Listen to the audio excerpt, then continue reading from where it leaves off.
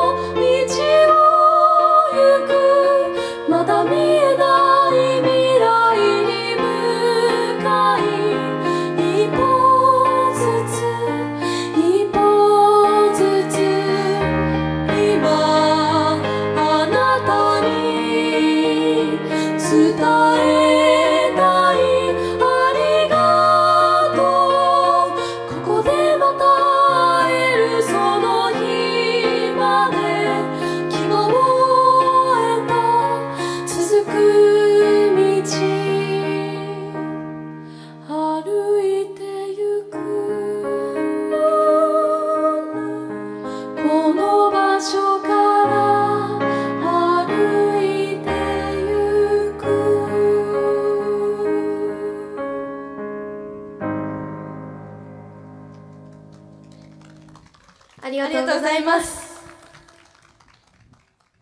突然のあれでびっくりしたんですけれども、えー、私のオリジナル曲で「のほほん」という曲があるんですけれども、えー、この曲は、えー、私のおじいちゃんとおばあちゃんが住んでいるところがすごい緑に囲まれたい場所でもう田んぼ田んぼ山みたいなすごい自然豊かな場所なんですけれども、え、そんな私たちの大好きな場所を舞台にして、え、作った曲です。っとこっちに今えー、かぶっちゃってる。ワンコーナーの「はい、スタート」っていう CD があるんですけれどもその曲に その CD に入っている曲です、えー、それではちょっと歌わせていただきたいと思います